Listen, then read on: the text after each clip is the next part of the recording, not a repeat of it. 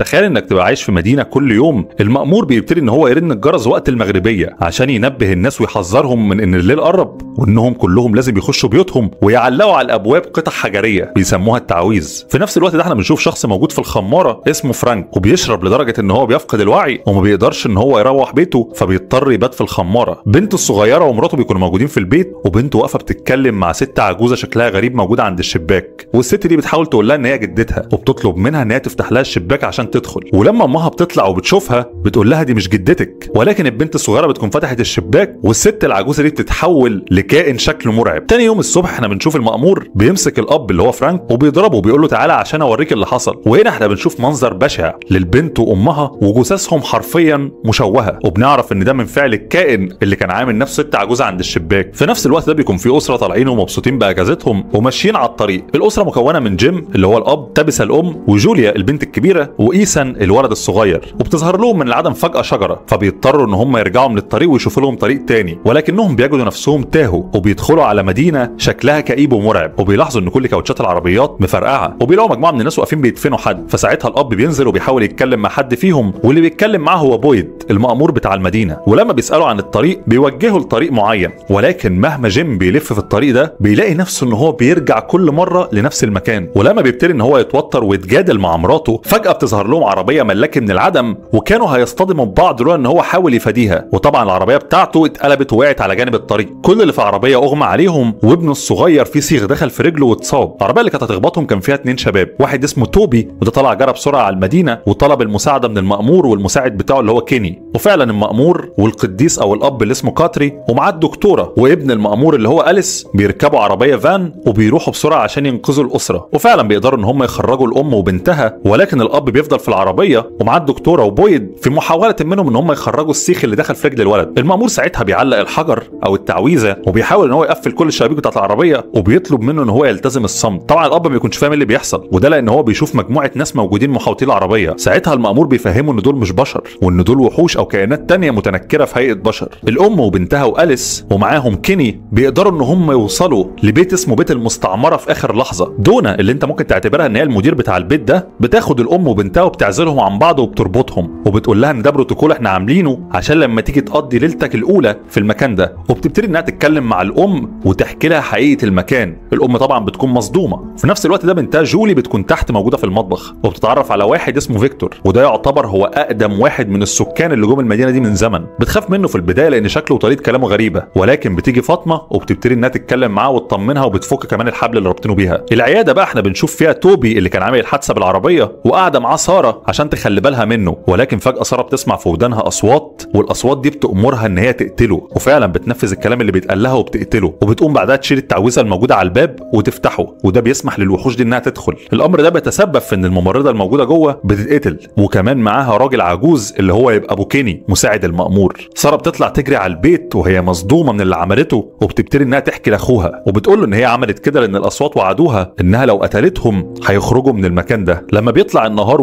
بيوصل بيتصدم من المنظر اللي شافه لأنه شاف الوحوش أكلين جسم أبوه ومشوهينه تماما. الأب أو القسيس كاتري بياخد جيم وتابيثا وبيبتدي إن هو ياخدهم لفة في المدينة وبيعرفهم الوضع عامل إزاي. وان السكان هنا مقسومين نصين يا إما بتختار إنك تعيش في المدينة أو إنك تعيش في حاجة اسمها بيت المستعمرة. المدينة ممكن نعتبرها إن المدير بتاعها هو بويد وبيت المستعمرة برئاسة دونا أما بقى بالنسبة لجيد وده الولد اللي كان موجود في العربية مع صاحبه توبي اللي اتقتل امبارح بيكون قاعد مع دونا وبتبتدي إنها تشرح له حقيقة المكان. لكن جيد ممكن تقول عليه كده إن هو متعجرف شوية. هو شخص ثري مهندس software وكان مفكر كل اللي بيحصل حواليه ده مجرد مقلب عامله فيه صاحبه توبي وإن المدينة دي كلها بالناس اللي فيها مجرد escape room كبيرة هو عاملها له كمفاجأة. كمان من كلام الأب كاتري بنعرف إن في حاجة اسمها الصندوق ودي عقوبة بويد عملها عشان اللي يخالف القوانين أو يعرض حياة الموجودين للخطر بيقضي ليلة في الصندوق من غير ما يكون معاه تعويذة ويتساب لمصيره إن الوحوش ممكن تاكله. وفعلا فرانك اللي أسرته ماتت من كام يوم بويد بيكون ناوي يحطه في الصندوق كعقوبة ولكنه بيتراجع في اللحظة الأخيرة ولكن فرانك عشان حاسس بالذنب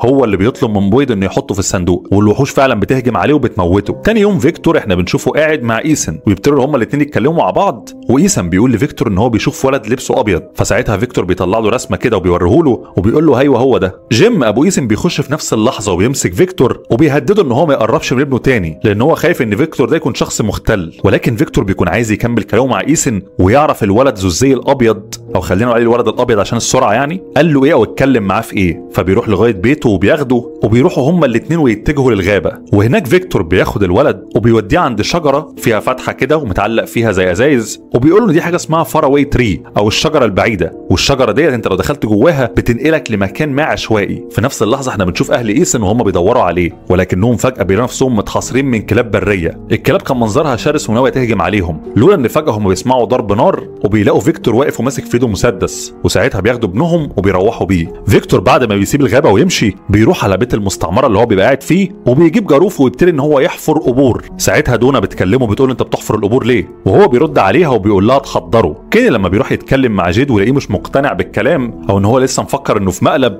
بياخده ويوديه عند قبر صاحبه ويوريه الجثه بتاعته. وهنا جيد بيتصدم وبيعرف إن المكان ده مش لا مقلب ولا escape روم ولا غيره. ولما بيقف يتكلم شوية مع جيد في الاسم بيفهم منه إن الناس كلهم الموجودين هنا جايين من مناطق مختلفة وده معناه إن المكان ده ملوش بوابة واحدة بس ده هو بيظهر وبيختار الناس اللي هيجيبهم عنده. في الوقت دوت جيد بيبتدي إن هو يفكر وبيلاقي قدامه اللاسلكي أو الراديو فبياخده معاه وبيمشي بيه. سارة اللي من كام يوم قتلت الناس الموجودين في العيادة بتبتدي إنها تسمع الأصوات تاني والمرة دي الأصوات بتأمرها إنها تقتل الطفل الصغير اللي اسمه إيسن وفعلا بتروح للبيت بتاع أهله وبتبتدي إنها تتكلم معاهم بشكل ودي جدا وبتقول لهم إن هي تاخدوا الحظيرة تفسحوا وتوريه الحيوانات. تابسة أمه بتوافق جدا وتقول لها مفيش مشكلة بس أنا هاجي معاكم ولما سارة بتاخدها للحظيرة بتدخلها جوه وتقفل عليها وتطلع للولد وهي معاها سلاح وبتبقى ناوية إنها تذبحه. في الوقت ده أخوها بيكون راح للأب قطري بيبتدي إن هو يتكلم معاه ويعترف له باللي أخته قالته له. ساعتها الأب بيدرك المصيبة اللي هم موجودين فيها وبيطلعوا هما الاثنين يجروا عشان يحاولوا يوقفوها. أخوها لما بيوصل وبيحاول يمسكها بتحاول تشد إيده لغاية أما بالغلط المشرط بيجي عند رقبته وبتموته. الأب قطري لما بيوصل وبيشوف سارة ويشوف اللي عملته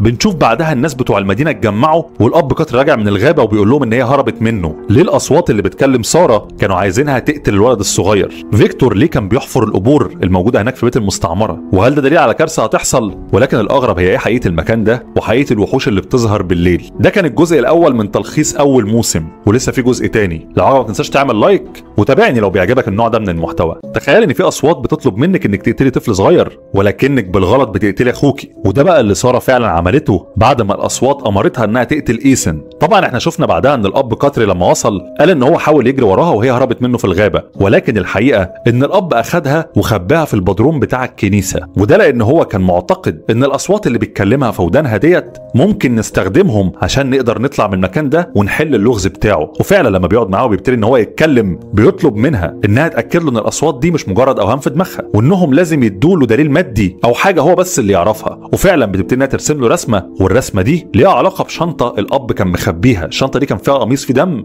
وإزازة مشروب. جيد بعد ما اتكلم مع كيني في القسم بنشوفه هو بيحاول يجمع أسلاك من كل حتة وده لأن هو مؤمن ان ممكن يصنع. إريال أو لاسلكي يقدر عن طريقه إن هو يبث إشارة أو يستقبل إشارة من بره يطلب بيها المساعدة من حد. وفعلا بيتكلم مع جيم وبيطلب منه إن هو يساعده لأنه بيخاف من تسلق الأشجار فمحتاج حد يطلع فوق ويمسك الإريال.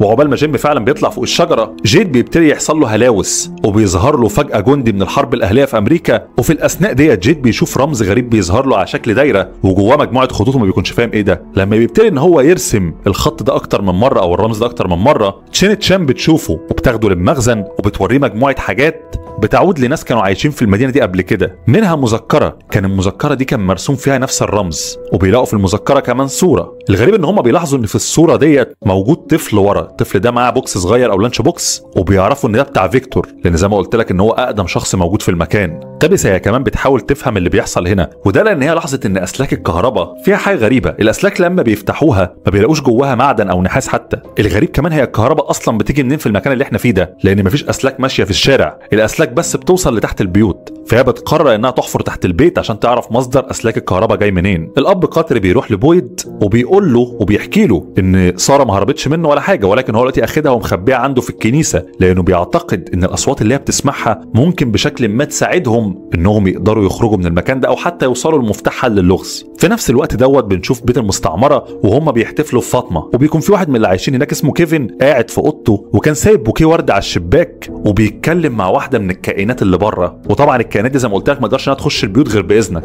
لكن للأسف كيفن بيضعف وبتقدر الكائن أو الوحش ده إن هو يضحك عليه وبيخش وبيقتلوه. الاجتياح ده لما بيحصل بيحصل بعديه مجزرة في بيت المستعمرة. مجموعة من الناس كبيرة بيلحقوا إن هم يجروا ويركبوا العربية. فاطمة وأليس بيقدروا إن هم يقفلوا على نفسهم ويستعملوا التعويذة عشان يحموا نفسهم من الوحوش. وفيكتور بياخد جولي وبيهربها في شجرة من الأشجار اللي بتنقلك لمكان تاني عشوائي. والناس دول عقبال ما بيهربوا بالعربية والمأمور ومعاه قطري بيحاولوا يساعدوهم قطري بيتقتل. بويد بيروح لسارة وبيقول لها إن هو هيحقق رغبة صاحبه وإنه هيستخدمها عشان تساعدهم في إنهم يلاقوا للخروج من المكان ده. وبيقول لها حضري نفسك لأن إحنا هنتحرك وهنروحوا الغابة. بنشوف بعدها فلاش باك لبويد وابنه ومراته اللي اسمها آبي. وهم راكبين العربية وكانوا ماشيين. وبنعرف إن الاتنين كانوا ظباط في الجيش. وإنهم وصلوا المكان ده قبل ما الليل يليل بحاجات بسيطة. وأول حد قابلهم هو الأب قطري وأخدهم وقعدهم في بدروم وبدأ يحكي لهم عن المكان ده. وهنا بنعرف إن هم وقتها ما كانش عندهم التعاويذ دي. وان بويد بالصدفة لقاها في الغابة في يوم لما كان بيدور على طريق للخروج.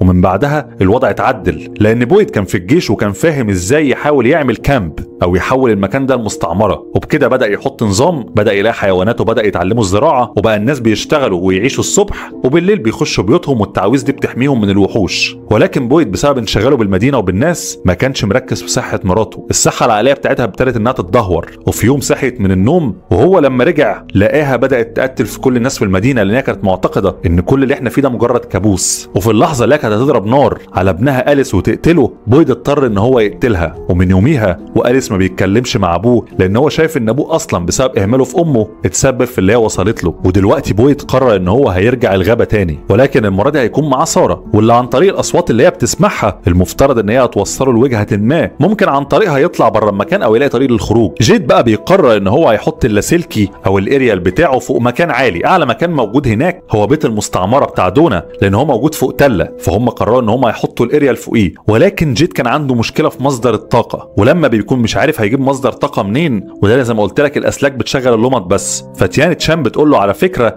إن هو يستعمل اللمض كمصدر للطاقة وفعلا الفكرة دي بتنجح. جدا. بويد وسارة بيكونوا ماشيين في طريقهم في الغابة وبيقابلوا شجرة من الأشجار اللي قبل كده فيكتور كان بيتكلم عليها ولكن متعلق فيها أزايز. وعقبال ما بويد بيبص على الأزايز سارة بيجي لها زي نوبة وبتقع على الأرض وبيغمى عليها وما بتصحاش غير لما يكون الليل ليل وبتلاقي نفسها في الخيمة. ساعتها سارة بتتكلم مع بويد وبتقول له إن هي سمعت صوت ست أول مرة تسمعه وكانت بتقول لها قولي لبويد إن الخطة بتاعتك كانت غلط وإن الغابة فيها حاجات أسوأ من الوحوش. وكمان خلتها تقول له اسم. الاسم ده كانت مرات بويد بس هي اللي بتندهه بيه. فهنا هو بيشك إن اللي كانت بتكلمها دي روح مراته آبي. فجأة وهم قاعدين بيلاقوا ضوء بيظهر والخيمة بتتشد بيهم بسرعة جنونية لدرجة إن حتى التعويذة اللي بيكونوا معلقينها في الخيمة عشان تحميهم بتقع. لما بيطلع النهار بيكون جيد وجيم خلصوا البنى بتاع البرج ورفعوه خلاص فوق بيت المستعمره وناويين يشغلوه. ولكن الغريب إن هم لاحظوا في السماء إن في عاصفة شديدة جدا جاية عليهم. فكانوا عايزين يلحقوا يخلصوا بسرعة قبل ما العاصفة تيجي وممكن توقع لهم البرج اللي بنوه. جيم فعلا بيشغل اللاسلكي ولما بيتكلم عليه أو يحاول يلقط إشارة بيسمع من الناحية التانية فعلا في صوت بيرد عليه والصوت ده بيحذره من إن اللي مراته بتعمله في البيت وإن هي بتحفر ده أكبر غلط. ساعتها جيم بيدرك إن مراته في خطر وبيطلع يجري عليها. أما بويد وسارة بيكملوا طريقهم في الغابة